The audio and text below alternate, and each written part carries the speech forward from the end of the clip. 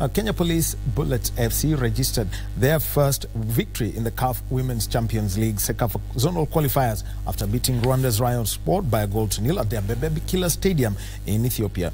Purity Anyetu scored the lone goal for Beldine Odemba's Charges while making their debut in the regional tournament.